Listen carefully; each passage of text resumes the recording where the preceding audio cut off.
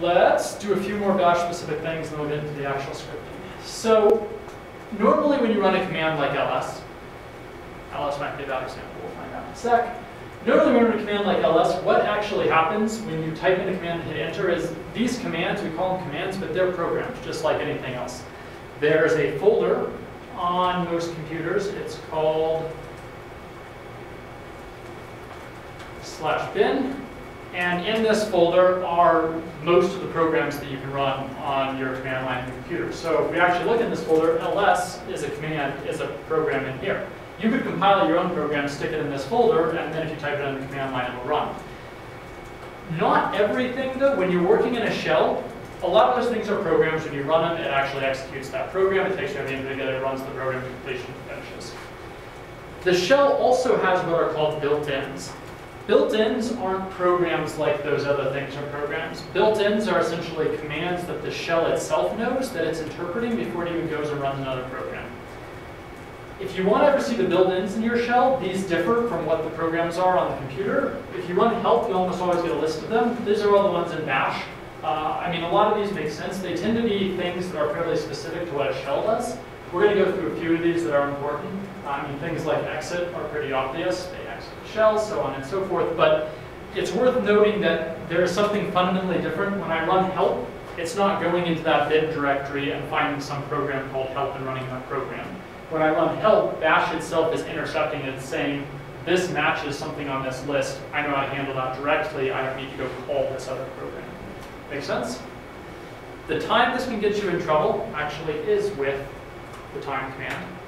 So Linux has a command called time. Uh, what time does is it basically times the execution of another command. So if I do like time ls, it took two ten thousandths of a second for me, or two thousandths of a second for the ls command to execute, right? Um, the issue is, if I do man time, we can read all about man, and we'll see it actually has some of these advanced options. Uh, for instance, it has an option that should do, I think the dash v option does everything. Yeah. So if I do time dash vls, I should get even more information than just what it gave me before. But you'll see what I actually get is this error dash v command not found, right?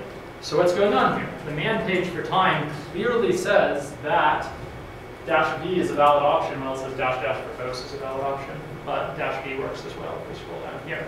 So it's telling me dash v is a valid option, and yet when I try to use dash v, it just throws up an error message.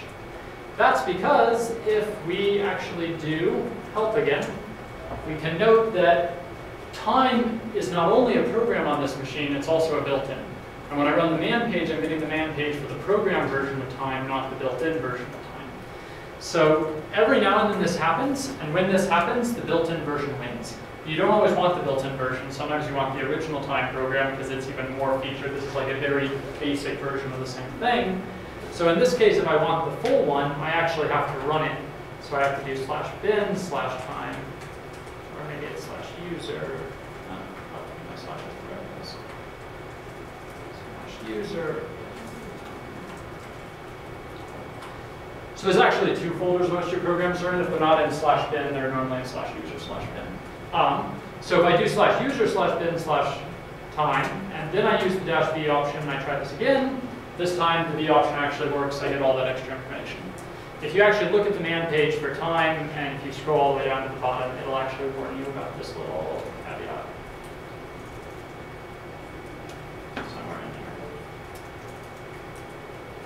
See, uses the bash shell, you need to use an explicit path, so on and so forth. So programs and built-ins are different things. Sometimes they conflict. The built-in wins. If you need to get around that, you need to run the entire path. Make sense?